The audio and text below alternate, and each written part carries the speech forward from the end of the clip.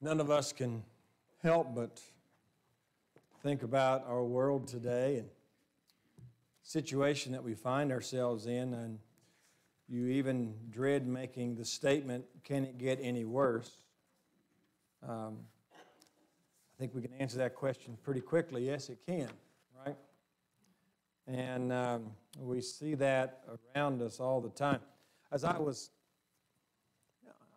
just I was thinking as I was going through the, the hallways up there at Bucyrus Hospital, man, I haven't been up there for I don't know how long. It just seemed it just seemed strange, you know. The uh, wasn't many folks. There were a few folks there in the hospital, and, and but I hadn't been been to the hospital. I mean, I think it has to be the longest of my whole lifetime I've not been to a hospital. Seems like, but uh, and uh, I was there. It just uh, it just seemed kind of eerie. I guess is a word because there's a few people there, but not many.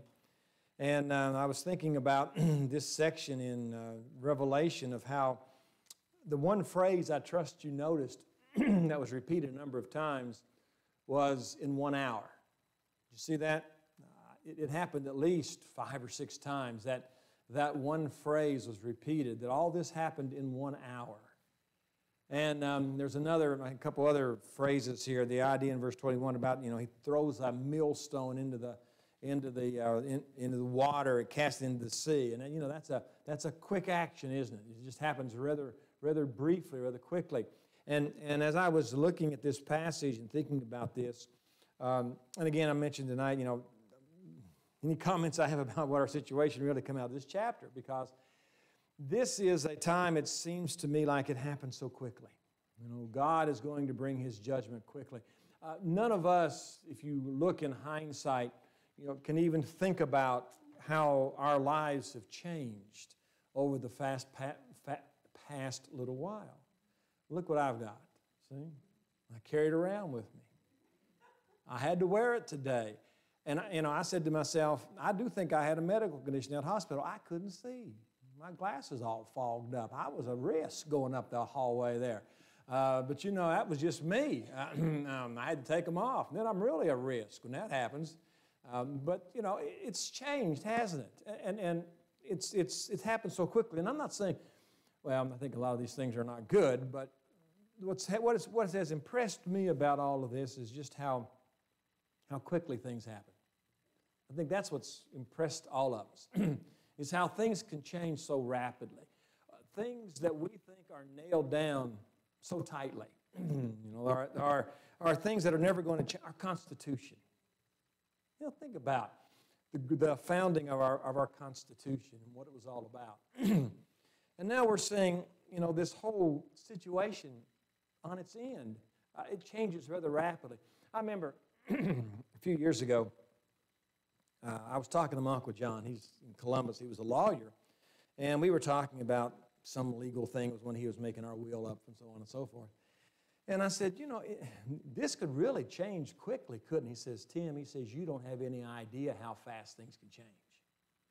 Just one judge making a decision changes everything. And boy, it has really been borne out, hasn't it? Uh, one judge makes a decision in our lives that we have lived in such a way as this happened very, very rapidly. And, and uh, it's, it's a scary thought in one, in one way, but it also, maybe not so much scary, a scary thought as it is, and I, I, have, I have viewed this throughout this entire time, that this should drive us to the scriptures. And I really think that's what's happened for us, I would trust as a church and as a, a people, is that the scriptures are really that which does not change. I, I, have been so impressed. You've heard me say it a couple times. I've been so impressed with the difference and, and, the, and the dichotomy, the difference between uh, our world and our scriptures. Now, we love to change our scriptures. Now, we don't. Okay, I'm speaking editorially here. We love to change scripture, and we are watching that all the time. I'm sorry, our culture loves to change scripture. I mean, just think of some of the changes that have happened in people's lives last 10 years.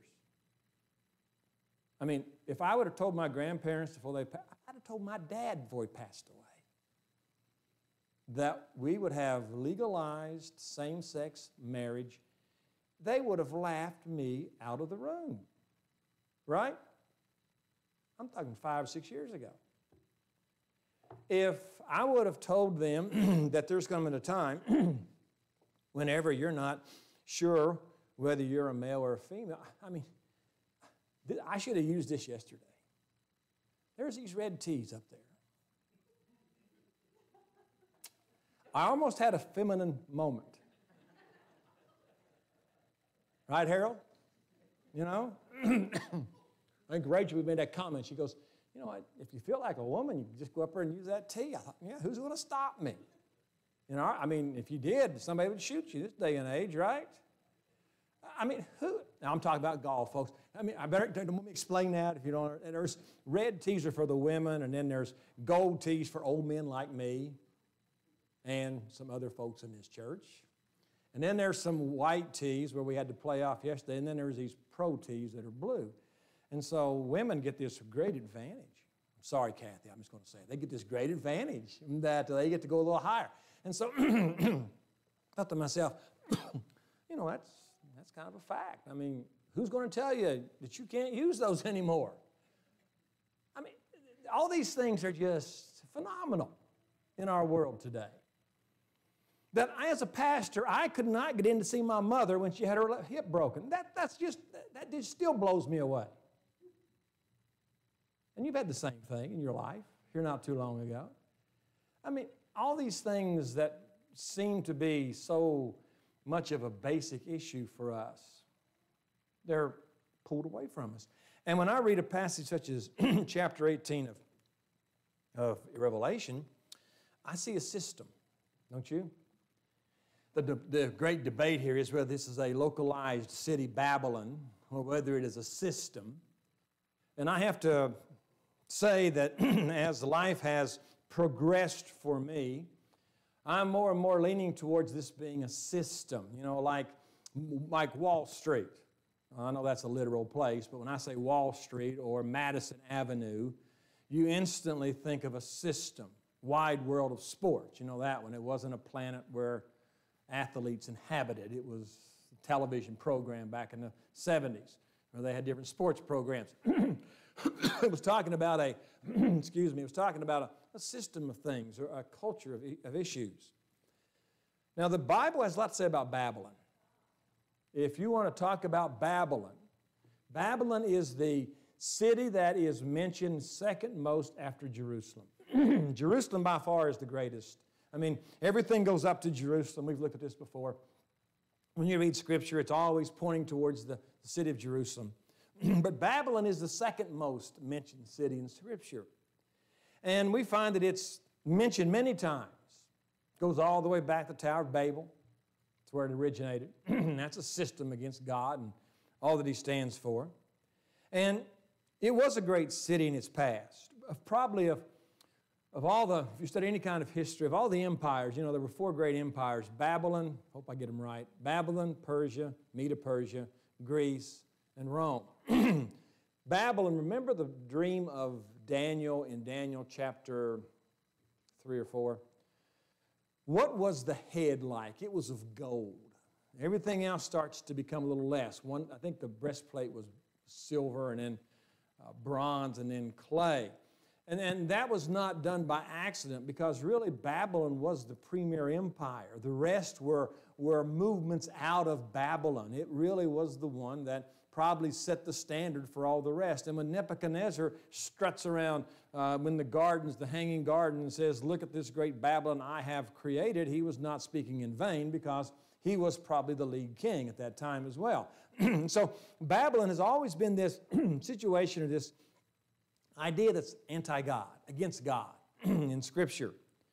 And we find that it's a great city, and it's, there's coming a day whenever people are going to wonder after her again Babylon.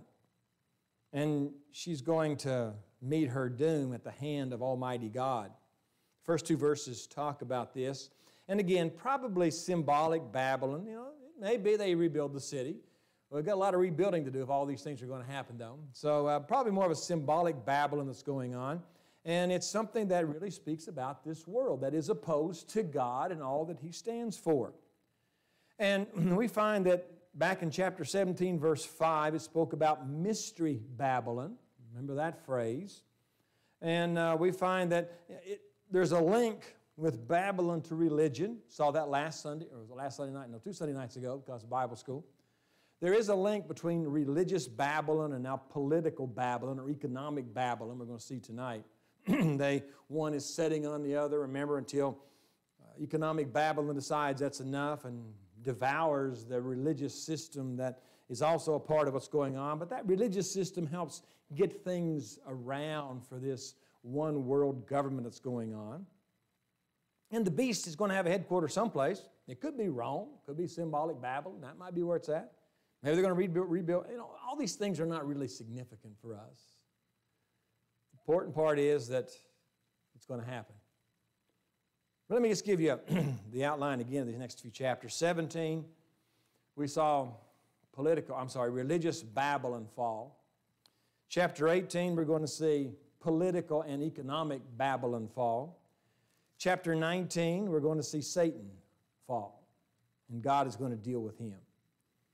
Chapter 20, millennial kingdom, and how he's going to rule for that thousand year reign. And then we're going to look at the new heaven and new earth. Book of life will be open in chapter 20. So we are moving rather rapidly towards the end of, or the summation of what God is talking about in this book. And it really does set a finality to the Word of God. This is tying everything together that God's Word has been saying up to this point. And so, this chapter, I want us to think about four things tonight that are true of Babylon.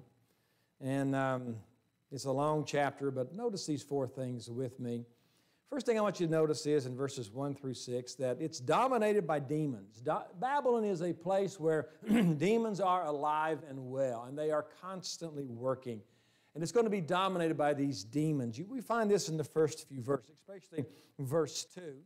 Uh, and some of the language here is, is uh, very graphic. Is, remember, let me just, one more thing here before we get into this. John, first century, is writing about a present day situation for us. And so he is describing things in his own language. And so that always has to be kept in mind when you think about this whole situation that we are going, uh, looking at. It says this angel comes out in verse 1. He's from heaven. he has this great power. Angels have been active throughout the book of Revelation, haven't they? They are the messengers of God. And it says the earth was lightened with his glory. You know, I had to pause and think about that. Isn't it amazing to think about our our whole earth being lightened with his glory?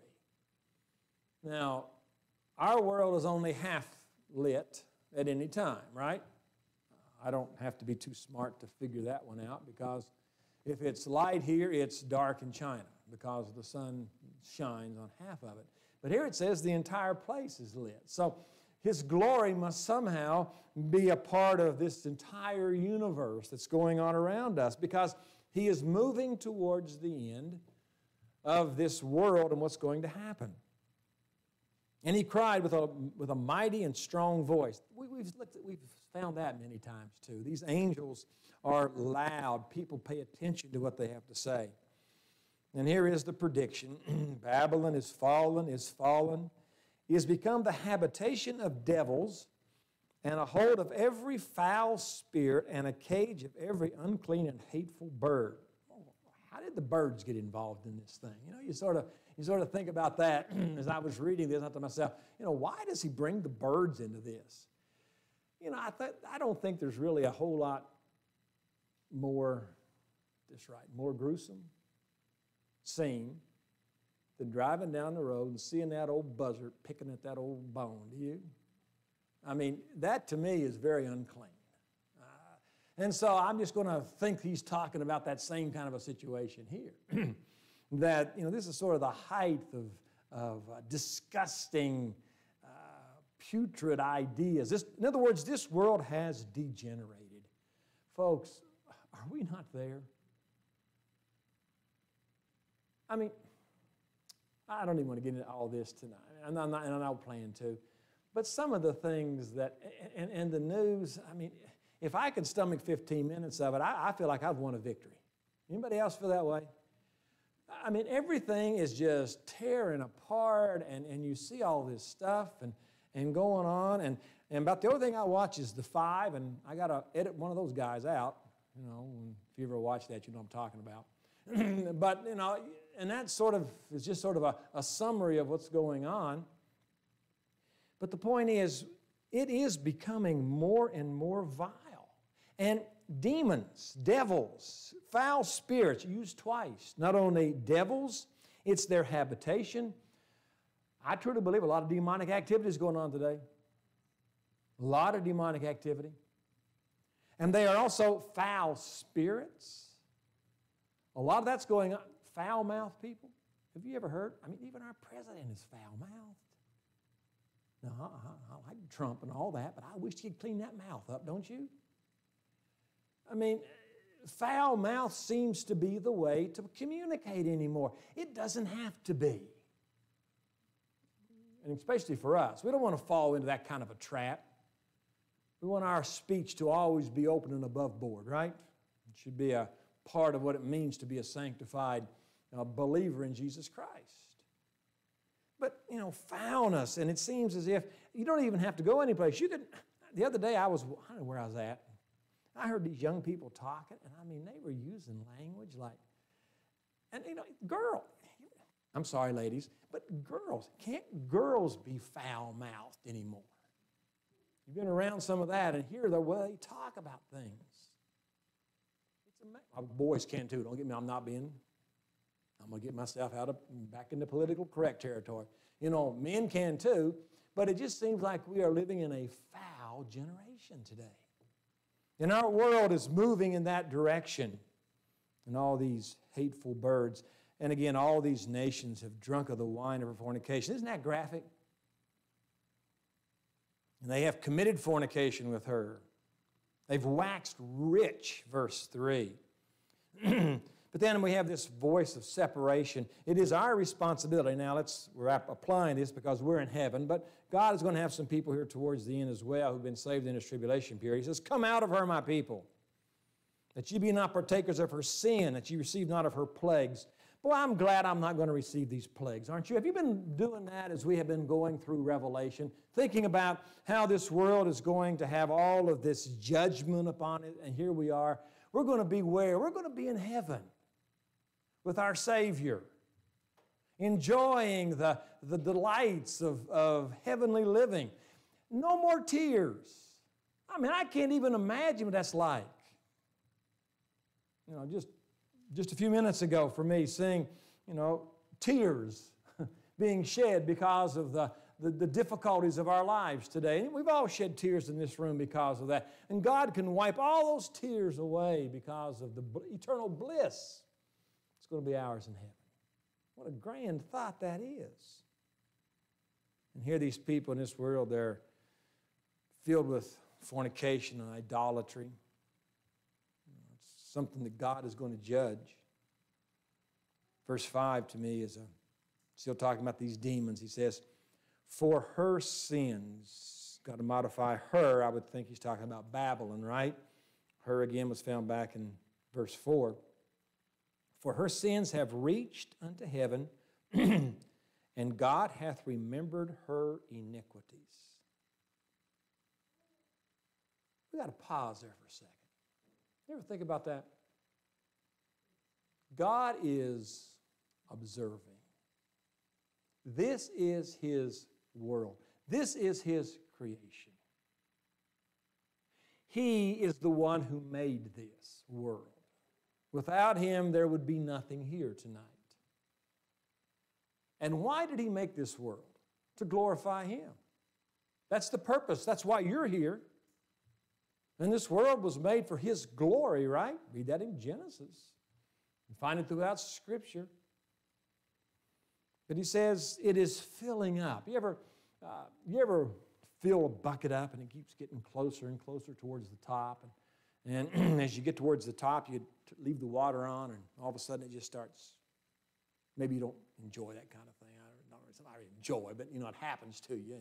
And, and you know it starts flowing out the top. You know, that, isn't that a graphic picture of our world, abortion? And I'm going to talk about this in a few minutes in verse 13. This trafficking today in young ladies and young men. We talked about the other Saturday in our men's time together. This is something that I really wasn't up on like I should be. Folks, this is becoming epidemic.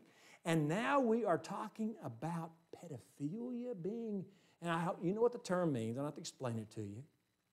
They're starting to talk about these issues of being legal. And I mean, I can't even think about some of these kind of thoughts. Can you? Our wickedness, abortion, euthanasia, pride, all these things, it's filling up. It just keeps getting higher and higher.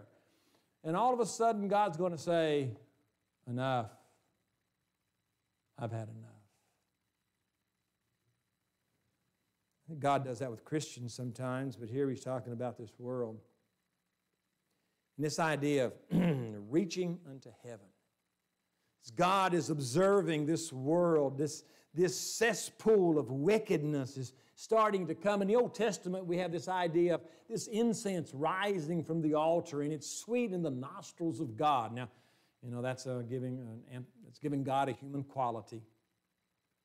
Here we have this wickedness, you know, bubbling. You ever, you ever watch these mad scientists when they're concocting these great potions around and they put in this and they put in that and, and this stuff starts, you know I'm talking? You, you've watched this kind of stuff. You know, it starts bubbling up and starts moving outward. Well, you know, that's sort of what our sin is doing in this world. It's, it's bubbling and bubbling and bubbling and rising higher and higher and higher. All of a sudden, like the volcano. Remember those science experiments?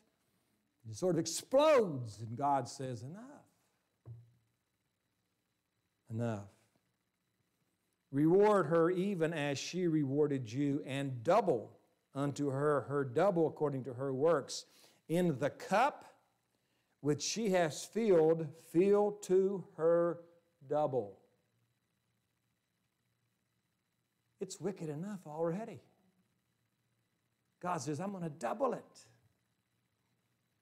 I'm going to make it times two.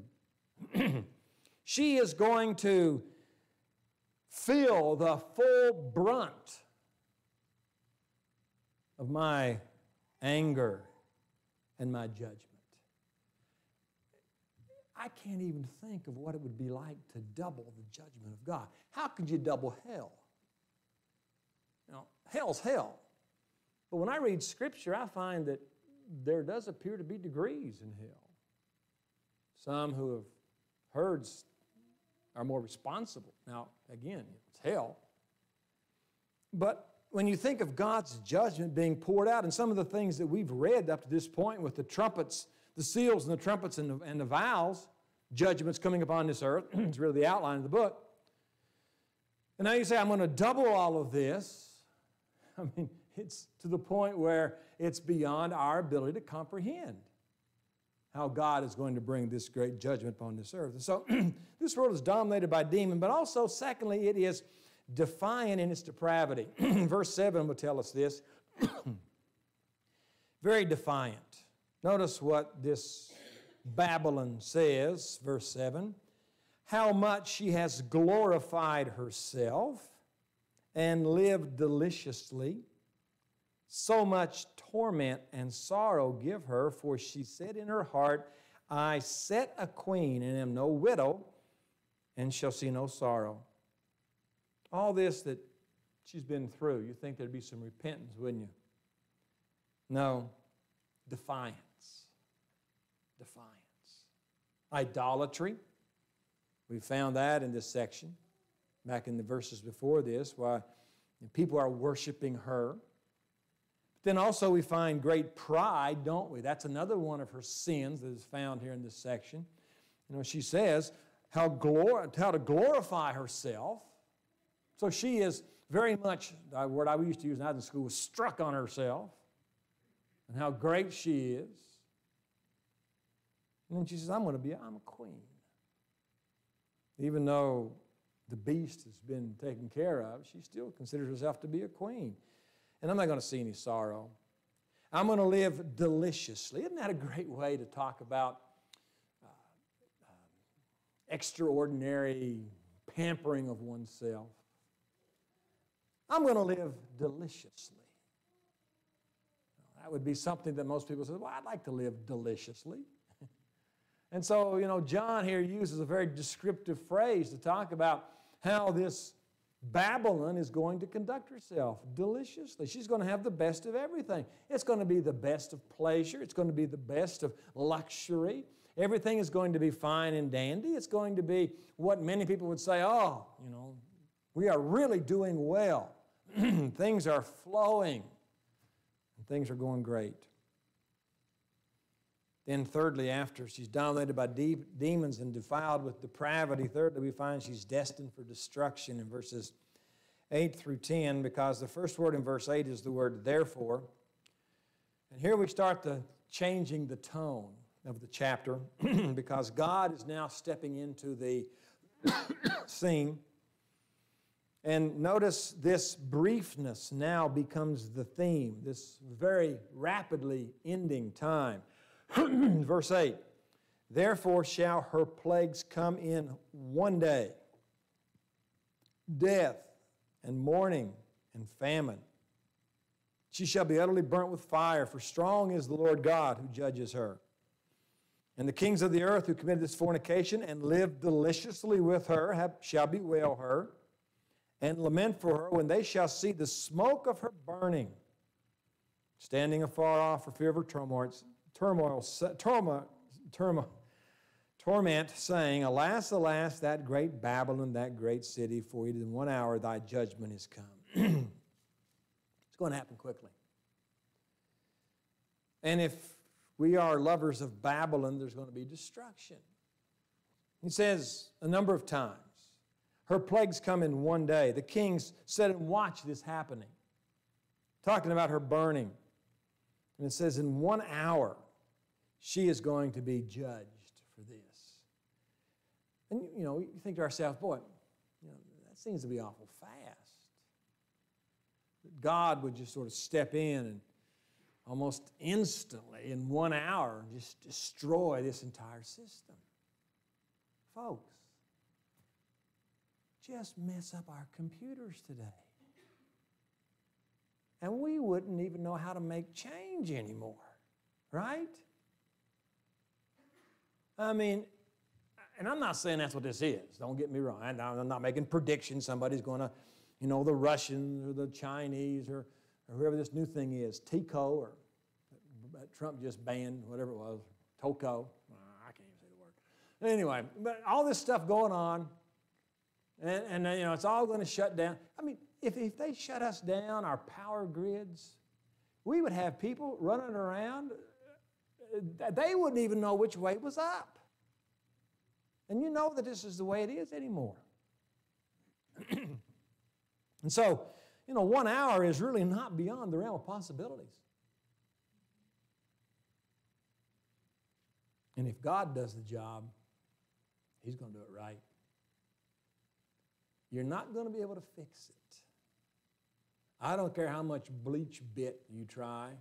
That was Hillary's stuff I guess. or anything else. it's going to happen because God is going to be the one in one hour. He's going to destroy everything that commercial and political Babylon is all about. That has to be the fastest destruction in history. He created our world in seven days. I believe God could have done it in one day if He wanted to, don't you? He certainly could have. He's going to destroy this world that is against him in one hour.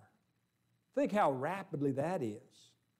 Think what it's going to be like when God starts to bring his judgment upon Babylon and all of her might.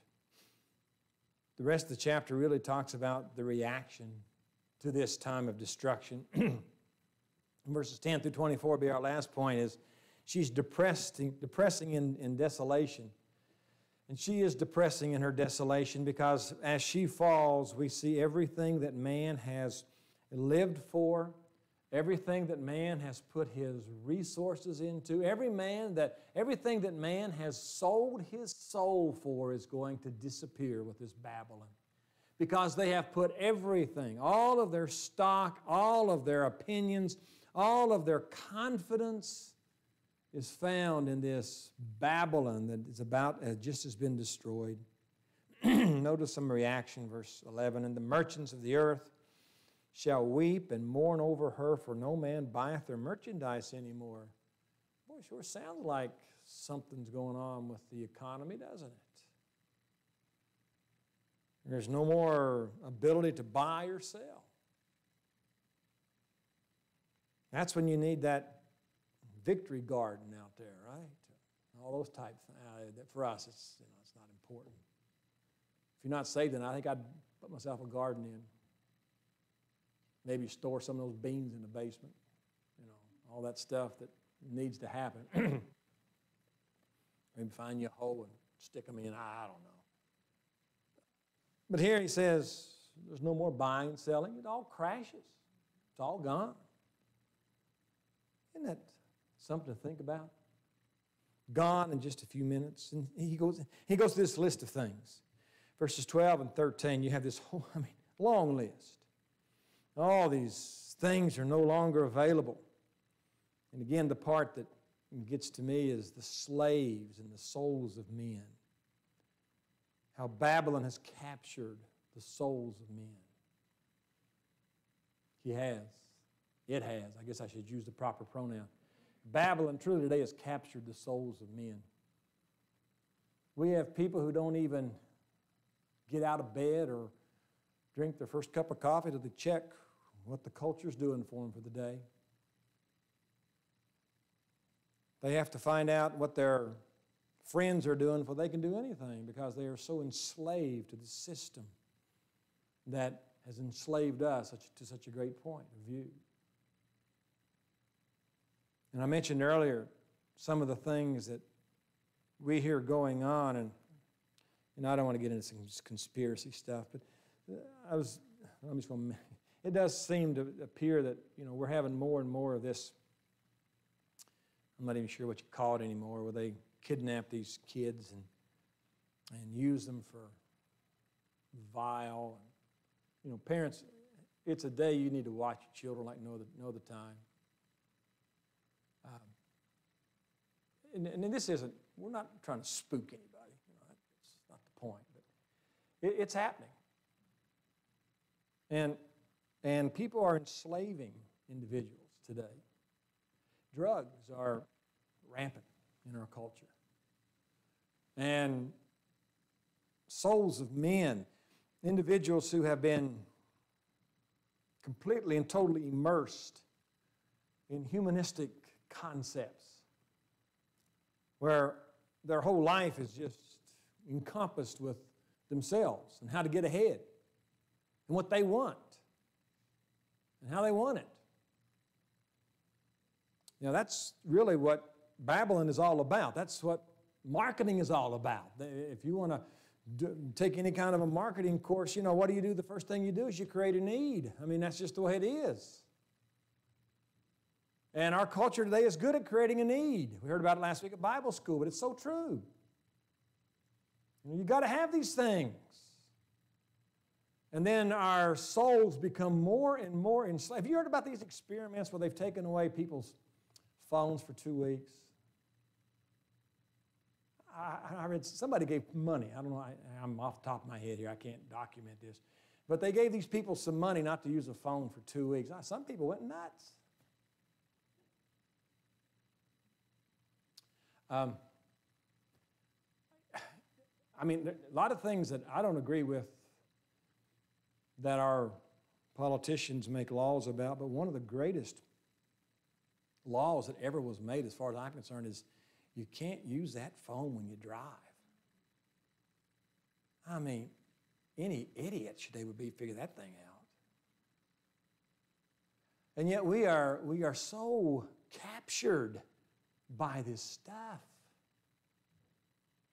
And you know, I really don't care about some of these things, do you?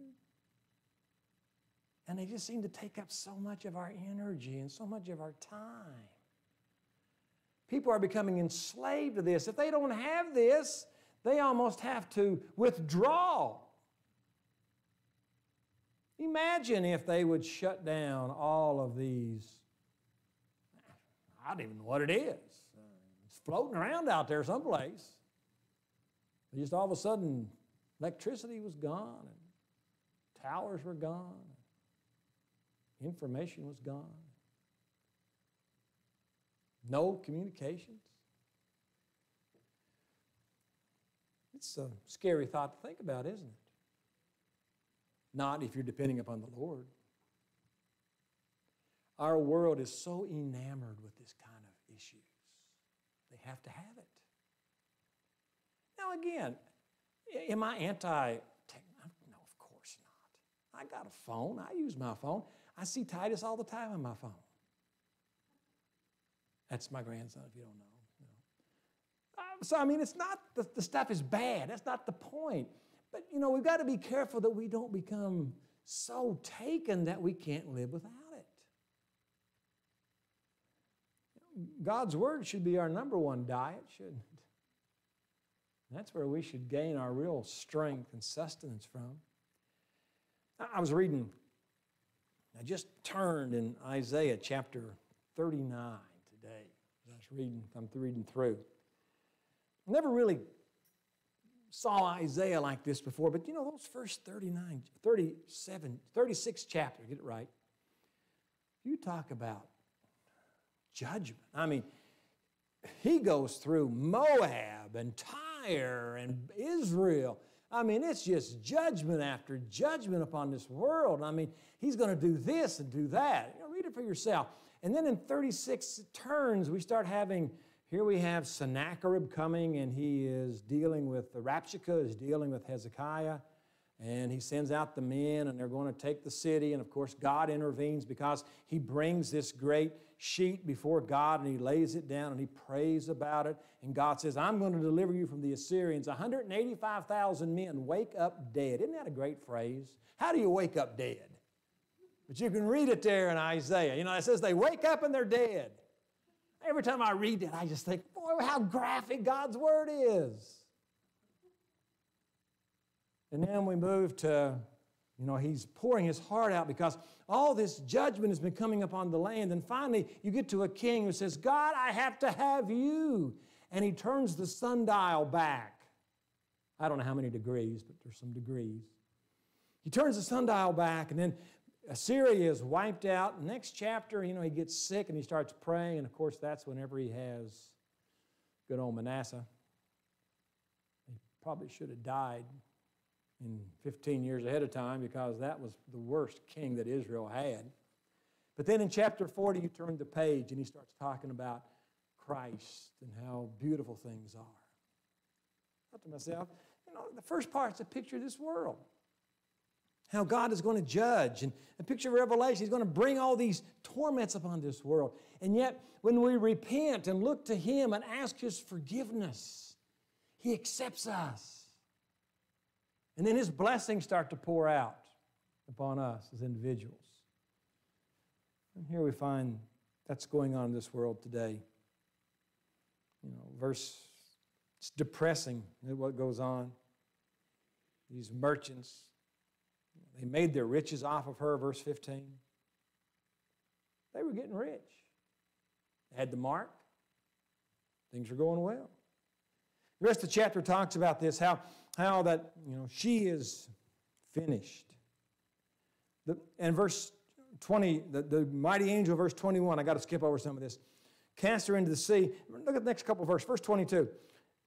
And notice the voice of harpers and musicians and pipers and trumpets shall be heard no more at all in thee. Silence. No more craftsmen. Whatever craft shall he be, shall be found any more in thee. Sound of a millstone shall be heard no more in thee. The light of the candle shall shine no more at all in thee. The voice of the bridegroom and the bride shall be heard no more in thee. For thy merchants were the great men of the earth, for by their sorceries were all nations deceived. We are being deceived today as no other time in history. but when God brings his judgment, it's all going to pass away. No more buying, no more selling, no more politics. Praise God for that. Right? All of it's going to be over. And he ends with this and in, and in her was found the blood of prophets and of saints and all that were slain upon the earth, God is going to bring his vengeance. Three principles about Babylon that should stir your heart to action tonight. Let me give them to you as we close. Three things that should stir us to be very much involved in what God would have us to be involved with tonight. The first thing is this come out of her. Verse 4 talks about coming out of Babylon. You and I need to come out of her. The spirit of Babylon is in this world already. We need to not be polluted by that spirit. We hear about separation today, separation of church and state. We should not keep company with Babylon. Come out of her. Verse 4 Do not be a partaker of this kind of situation. You and I need to have our hearts stirred to action to see how this whole, and, and I think like today, like no other time in history, we are seeing the futility. We are seeing the, the breaking up. We are seeing how, how, how sinking sand this culture is around us today, how fast it can fall apart. Come out of that. Don't put your confidence in that. Don't allow that to be your source of authority and security. No, come out of her. Realize that God is the one who strengthens us. Don't envy her. Boy, there are many today who wants what the world has. Don't envy a fool. Don't envy what a fool has because there's nothing there for us. It's just simple foolishness. And when it's in light of God's word, it's foolish. Number three, after we are to come out from her and not envy her, verse 20, we can rejoice over her. rejoice over her, and thou heavens, and the holy apostles and prophets, for God hath avenged you on her. Never get to the point that you think you're on the losing side. Never get to the point we think it's all going to fall apart. I read about the church in China. We need to pray for our Chinese brother, brother Christians. They are suffering persecution. They're having their churches torn down. But you know, we should pray for our brother in California. It's not just China anymore, folks. It's getting closer to home. But never think negatively about God. We are on the winning side. One day, Trump's going to sound. One day, he's going to split the clouds. The dead in Christ are going to rise first, and those that are alive and remain shall join him so shall we ever be with the Lord. You ever think about that phrase from 1 Thessalonians? So shall we ever be with the Lord. Never again to be separated from Him. Isn't it great to be on the winning team? I wished I knew about that, you know, in this world. But one day in heaven, I will be on the winning team because of what God has done for us how much He loved us, and what He does for us on a daily basis. So Babylon is going to fall. God is going to say, Enough. The sin is filling up. And when you hear about Jeffrey Epstein, you hear about all this vile stuff that goes on, and you say to yourself, Oh, will not justice be given? Me tell you one day, justice will be given. Justice will come. And it'll be the greatest justice in all the world. Those who think they've got away with it, those who think there is no ramifications for their activities, God will one day say, Your cup is full. And I'm going to come and bring